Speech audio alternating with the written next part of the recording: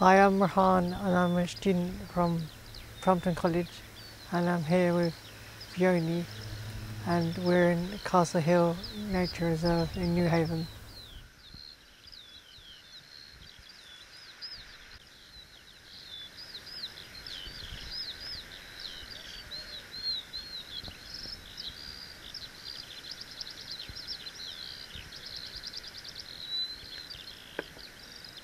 Why is there a green flag flying here? A green flag is given to a place when it's really well run, not just for nature but for people as well. And you can see that we're really close to Newhaven here. And this is a lovely, wild, open green space where people can walk up, get some exercise, um, look at the nature, clear their heads, just enjoy themselves.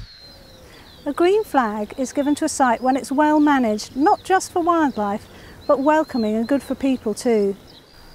And the green flag judges especially take notice of how much local people are involved in a site. So we're very lucky here at Castle Hill that there's a really good local conservation group, the Castle Hill Group. And it's because of the local group that we know so much about the wildlife that's here.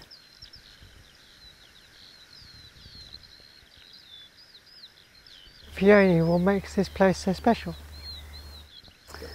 There are so many things that make Castle Hill special. It's full of wildlife and that's because it's very varied. We've got areas up here at the top of the cliffs and then we've got sheltered glades down below and the front of the cliffs themselves, that's all part of the nature reserve. The cliffs themselves have really interesting rock formations. There are students and geologists that come just to look at the cliffs, just to look at the layers of chalk and sands and clays. There's even a, a bed full of fossilised oysters up here. Uh, the other thing, of course, that makes it special is that as you walk around the reserve, you'll come across old military buildings and there's a concrete gun emplacement from World War II because we're right next to Newhaven Fort and this was all part of the area that they used for the defences. Here on the cliffs we get plants that really like the salty air, they thrive in it, like pink thrift which is beautiful here in the spring and summer. It blooms all the way along the edges of the cliffs.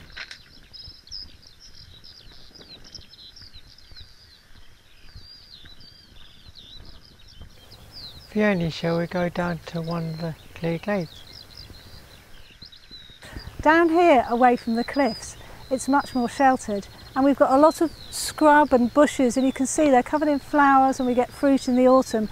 So the insects and the birds will feed on all of this.